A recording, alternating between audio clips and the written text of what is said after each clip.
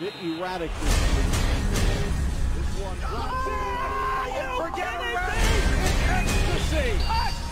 Siul, prediksi dan ulasan sepak bola. Oh.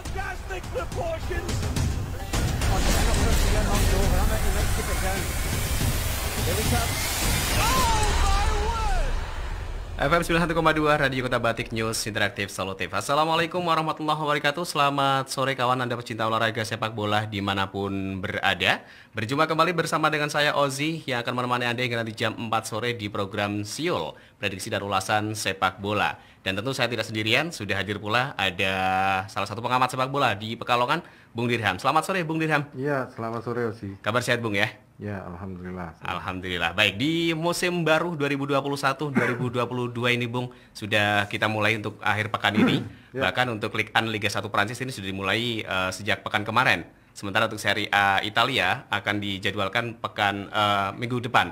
Nah, sebelum kita membahas itu Bung Dirham, kalau kita lihat di iya eh, dunia sepak bola saat ini memang lebih fokus ke pindahan Lionel Messi ya. Iya. Dan ini bahkan kita tidak bisa menyangka bagaimana uh, Lionel Messi ini bisa berjersey selain Barcelona. Karena begitu wah lengket banget dengan Barcelona nih Bung Dirham. Kalau menurut Bung Dirham sendiri seperti apa sih kepindahannya uh, Messi dari Barcelona ini, Bung? Iya, yang pasti eh, bursa transfer kali ini rekornya Neymar tidak terpecahkan. Mhm. Tetapi kalau dihitung eh, bagaimana PSG merekrut jumlah pemain ya untuk musim ini itu cukup luar biasa nilainya.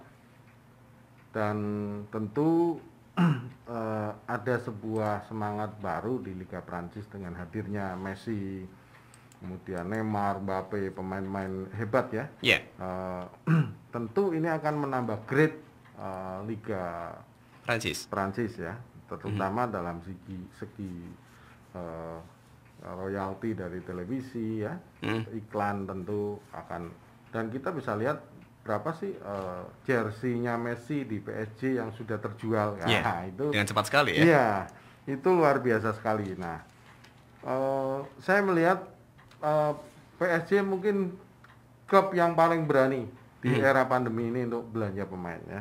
Kalau Barcelona masih dia masih bingung ya karena Iya. masih ada hutang yang harus dibayarkan dan walaupun ada tambahan amunisi tapi tidak sefantastis kepindahan Messi-nya sendiri. Mhm, mhm. Jadi itu yang men- yang eh, apa menjadi catatan bagaimana Messi dengan kepintangannya dia pindah ke Prancis, Liga Prancis yang tentu pasti eh, sponsor-sponsornya Messi ngikut ke Prancis Betul. gitu kan. Iya. Nah, otomatis ini akan membuat eh, Liga Prancis levelnya naik ya. Mhm. Paling tidak mereka menyamai Liga Inggris, Liga Spanyol ya. Seperti itu Liga Italia. ini kan eh, saat ini ada ada lima liga besar ya. Iya. Eh, Inggris, eh, Spanyol, Prancis ya. Mhm. Terus eh, Italia Jerman. Itali dan Jerman. nah, itu Itali, Jerman biasa-biasa saja. Transfernya tidak begitu sedahsyat dari Inggris juga ada kepindahan, Mhm. tapi tidak begitu eh, booming ya. Artinya Manchester City pun biasa tidak hanya Jack eh, Grealish. rekrut Jack, Jack Grealish saja dia dia hanya mena- menambah sedikit amunisi di tengah untuk bisa mungkin penyeimbangan dan berkaca kepada kegagalan mereka di eh, final Piala Champion. Eh, Liga Champions. ini tentu akan eh, membuat mereka lebih menata diri. Nah, mereka kaget bisa bisa dikalahkan Chelsea itu kaget sekali. Kenapa Chelsea ada transisi pelatih gitu kan? Iya. Ca- Sementara Manchester City kondisinya stabil, pemainnya juga tidak ada yang cedera ya. Mhm. Tapi mm, Chelsea bisa eh, bisa Menjuara Liga Champion. bahkan Piala Super tadi kemarin Betul. malam ya. Ah. Dan eh, kalau kita apa namanya mengingat kepindahan Lionel Messi ke PSG. Jelas di sini yang diuntungkan adalah Liga Prancis selain juga Iya. dari PSG sendiri Bung Dirham Iya, ya. PSG. Nah, betul. Sekarang yang dirugikan Bung Dirham, apakah hanya Barcelona saja? Apakah termasuk juga La Liga Liga? Spanyol. Aha. Ya, kalau dilihat memang Liga Spanyol ini ya masih berputar ya, masih tapi memang grade-nya agak agak turun terutama dari sisi pendapatan ya. Mm. Salah satu pendapatan terbesar mereka adalah dari tiketing. Nah, tentu dengan uh, penonton di Tapi saya tidak tahu nanti ke depan apakah Spanyol ke depan akan mengizinkan beberapa penonton masuk ke stadion Mm. itu kita tidak tahu tapi seandainya itu masuk itu sedikit mengurangi beban operasional dari eh, klub-klub itu karena Betul. memang operasionalnya sangat tinggi ya berbeda mungkin dengan eh, leg- apa di liga-liga di Asia ya tapi kalau- di mereka kan punya tim ya dari tingkat junior ya sampai sampai ke senior itu yang level pembinaannya itu sudah eh, baik gitu ya. Berjenjang begitu Iya, Bung Dirham ya.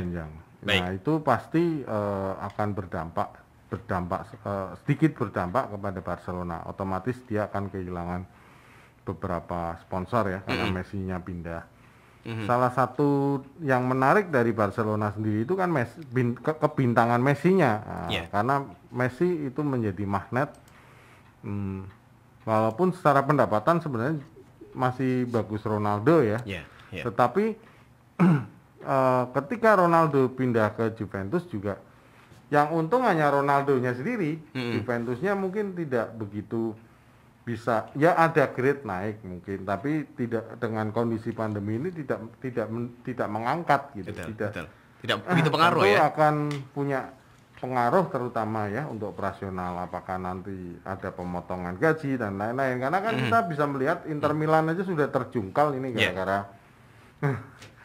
pandemi yang menyebabkan beberapa pemain tentu pindah. Lah ini eh, apakah kondisi sepak bola Eropa di Eropa ini akan tetap tanpa penonton ya? Ataukah eh, nanti ada perubahan eh, peraturan? Ya. karena memang saat ini Eropa juga seperti di Indonesia kita ini lagi gencar eh, vaksinasi. Di Eropa juga sama ada beberapa negara yang terus melakukan eh, vaksinasi kepada masa warganya atau rakyatnya. Yang ini kita bisa lihat kemarin Piala Eropa bagaimana Denmark ya kemudian Hungaria bisa penonton bisa penuh Full. seperti itu. Nah itu akan eh, pasti eh, dalam jangka 2000 tahun 2021 ke 2022 ini akan ada perubahan-perubahan eh, yang membuat eh, tentu apa liga akan kondisinya akan membaik seandainya penonton juga eh, bisa masuk ke stadion Betul. walaupun mungkin harus ada mungkin Pembatasan-pembatasan ya. jumlahnya dibatasi jaraknya mungkin di Longgari agak gitu ya. dilonggarkan eh, dan tidak full misalnya kapasitas stadion 80.000 hanya untuk 40.000 tapi setidak- setidaknya itu kan bisa apa ya eh, menopang Mm. operasional dari eh, masing-masing klub ya. itu. Baik, dan kalau kita melihat dari pertandingan awal di Liga Inggris yang berlangsung dini hari tadi, Bung Dirham antara Brentford versus Arsenal, ya ini Hmm. Iya, semakin iya. mengejutkan juga ya. Dan sebelum kita membahas pertandingannya itu, Bung Dirham, tapi semalam juga uh, sudah ada penonton yang hadir di stadion, Bung. Dirham. Nah, ini kalau seandainya di La Liga juga semacam itu, Bung, apakah nanti Barcelona juga akan kesulitan menjual tiket ketika setelah ditinggal Messi seperti itu, Bung Dirham? Ya tentu pasti ada pengaruhnya Ah. ya, tetapi Barcelona kan ini eh, klub-klub yang yang kuat ya, yang yang eh, mereka eh, punya sponsor-sponsor juga, sponsor gede dan juga eh, mereka dapat eh, hak dari Hak siar ya? re- eh, fee dari hak siar, televisi, terus iklan ya Mm. mereka eh, di Eropa ini kan sudah mulai rencana eh, akan digulirkan apa pariwisatanya itu mulai akan eh, tampaknya ya tapi walaupun saat ini belum. Kalau itu bisa digulirkan, paling tidak ada eh, stadion itu di sana juga sebagai tempat wisata bagi turis-turis asing. Bagaimana seorang dari Indonesia datang ke sana ada paket eh, wisata berkunjung masuk ke stadion itu kan luar biasa. Itu itu nilai itu ada ada nilai yang nilai tambah dari sisi pariwisata yang mendukung sepak bola. Hmm. nah, eh, eh, apakah eh, nanti kita tunggu eh, peraturan itu benar-benar bisa. Nah, kita aja di sampai sekarang eh, Indonesia belum ada keputusan apa pun ya dari pemerintah. Walaupun sempat ter- eh, tercetus bahwa Agustus akan mulai bergulir, Liga tapi 1. ha. eh, sampai dengan saat ini belum ada keputusannya. Bahkan klub-klub ini eh, tentu di Indonesia semakin membengkak eh, pengeluaran, sedangkan